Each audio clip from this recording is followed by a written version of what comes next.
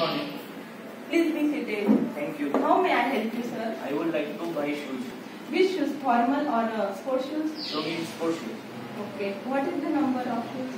Uh, nine number. Which color you prefer? Show me in uh, black color. Okay. Will I show with lace or without lace? Show me with lace. Okay. Just a minute. I'll bring shoes. Take it, sir.